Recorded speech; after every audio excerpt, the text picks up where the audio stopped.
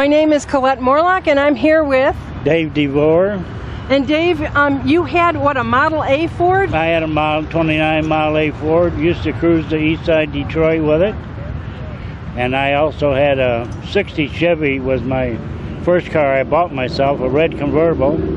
And we used to go on 8 Mile Road to the Big Boy Drive-In Theater and restaurant.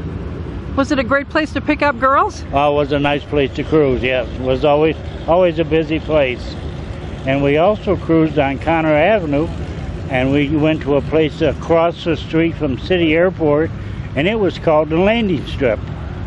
And you could only park there for about 10 minutes, and then the police would come by and chase you out, or they'd give you a ticket. How fast would your Model A go? Oh, probably about 40 top speed.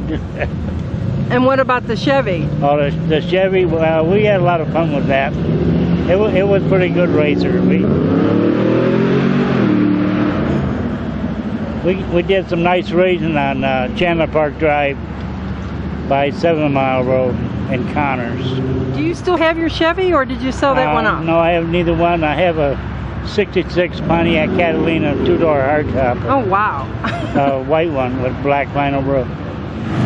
I was never attached to a guy, but they used to try to pick me up in my '67 Barracuda. Uh, nice, nice car. Did you? Did you just? Uh, how did you manage to pick up the girls? Uh, I would just just drive around, and uh, my friends would introduce me to them, or we'd meet them sitting at a soda fountain, or or at a church function. We would go to a lot of church picnics and stuff like that. And then did you go riding in the car? Oh yeah, we go cruising in the car. Yeah, usually on Sunday afternoon.